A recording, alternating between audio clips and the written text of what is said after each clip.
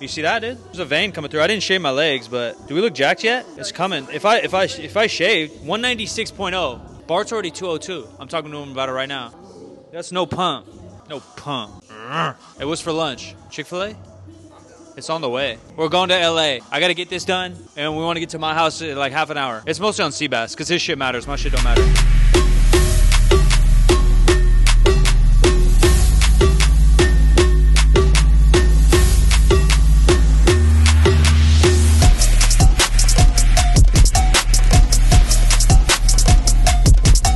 So the world's a little bit more normal. We got some normal stuff happening in the gym. So it's back to some travel vlogs. For the OGs, comment below if you've been around. I used to go to LA monthly, Texas every six months, New York every every eight months. Um, so we're back on the move, man. Life's rolling. We just talked about in the podcast a little bit. So uh, we'll be in LA. They got the Barbell Brigade uh, powerlifting meet. I want the boys to, to experience Barbell Brigade a little bit. So Kyle, me, and Seabass, we're taking a road trip down there. Um, today's Thursday. We might have a little collab in the works tomorrow. So we'll have a workout video tomorrow, and then probably two or three vlogs, kind of a three-part series of us moving down there. We're not moving, moving, but heading down there. Find Bart, find Nadim, find all the homies. So at the meet, so we'll probably vlog the meet a little bit. So stay tuned. Be sure to give this thing a thumbs up, subscribe, and uh, travel with us. We're heading to Los Angeles, California.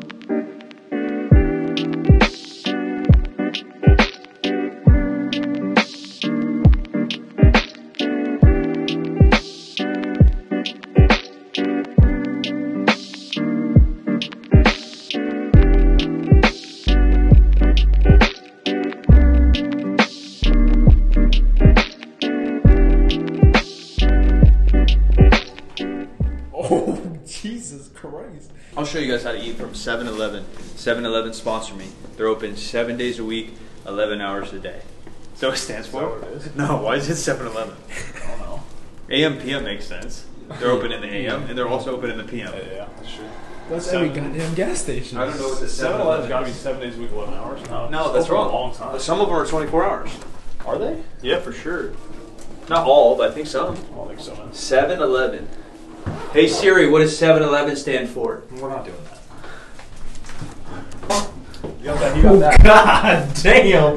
no, bro, this The elevator is ass squeaky. clapper. Get that 7 Eleven.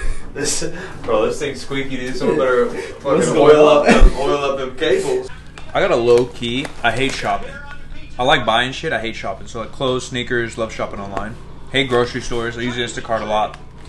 But sometimes uh, something about like gas stations and big nice ones that have like a ton of stuff. I didn't. I, maybe we got B-roll, but like the gas stations are on Highway Five. So Highway Five goes from basically Mexico all the way up to Canada along the entire coast. So it runs through San Diego, L.A., Sacramento, Portland, Seattle. So I've driven all up and down it multiple times. My family's up in Portland.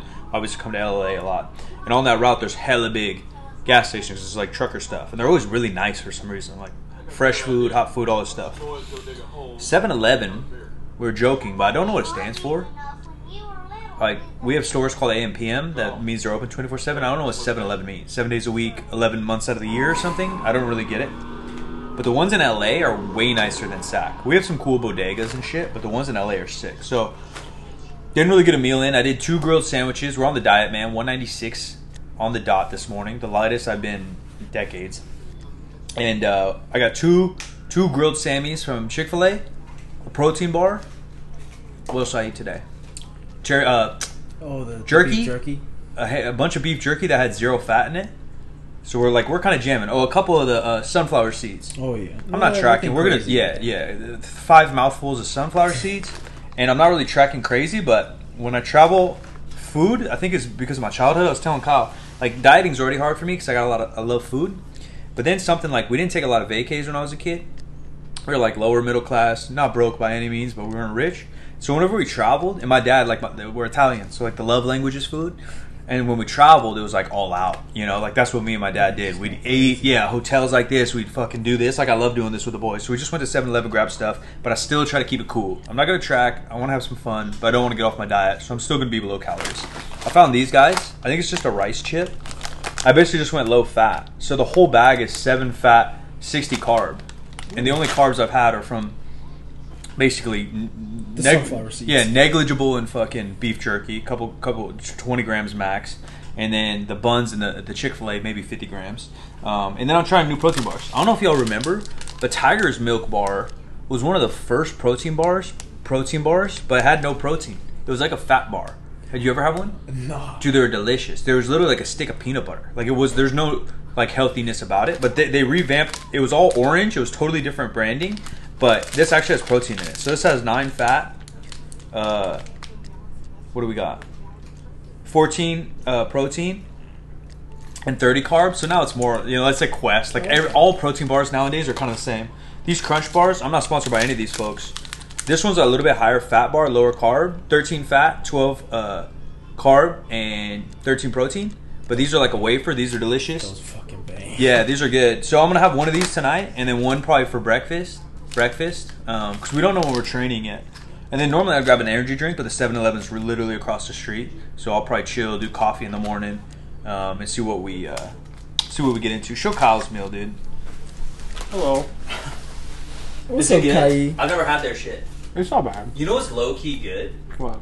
Uh, Chuck E. Cheese pizza. Yeah. Low key good, right? Chuck E. Cheese pizza smash. Why does that? Why is it so good? Like, I don't and, we could never go to Chuck E. Cheese right now and buy pizza. It would just look so bad. Yeah. And after the YouTube scandal, you know that they grab all- pizza off other people's tables and fill in the gaps with other people's pizzas and reserve it. Yeah. What? Swear to God, he filmed the whole thing. I don't know if it was Dobrik, but it was one of these big YouTube cats did it. He did like a full mini documentary on it. It's legit, legit. Saying that Chuck E. Cheese does that. He filmed it. He showed it. He's. So the workers at Chuck E. Cheese haven't said a word about this? I know, dude. There was a big deal for a second.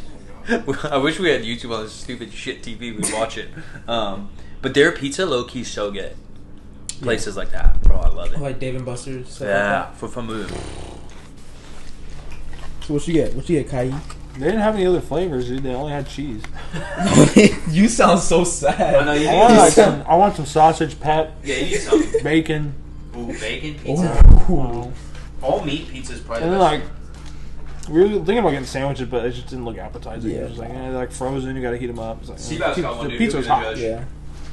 It's See like an American sub. I don't think it's gonna be good. What'd you get? Uh, an American sub, I think it's called. American sub It's like mustard, pickles. Mm-hmm. salami. That'll be pretty good. Hopefully. I think it will. Yeah, because you don't need to heat that up either. Exactly. It's a little cold, cold sandwich. Can't really go wrong with salami. You know? Yeah, you're not wrong. You know what's another favorite item of mine? Now that I'm dieting and I can't eat this shit? Hard salami. Hard salami. Where you gotta cut it type shit. I've never had that. You got hard salami? Hard salami? Like, you, where you got to slice it? Yeah, yeah, of course. Or like a charcuterie? Yeah. Is it char charcuterie or charcuterie? What do they call it now?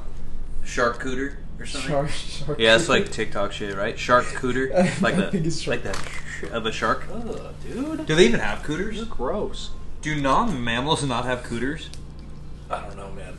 I don't think they do, right? Hey, It's turning comment in the bu- comment below. Yeah, where's This is coming in, this is becoming, what is it, Planet Earth? Yeah? Uh, yeah, Silent Mike goes on Planet Earth. I love those shows. Planet Earth is really good. No, those came out when I was No, like dude, those were sick. eighteen. Like hour long, just straight up. Mike like, Sean, my little little, bro, narration was good. my little bro had a loft at their house, and it had a projector Oh yeah. and like lounge couches. We would just go on there, do dim all the lights, turn the sound way the fuck up, and just vibe to Planet Earth. One of the best things, spectaculars I've ever seen in my life. I love Animal Planet type shit. What's Kyle doing?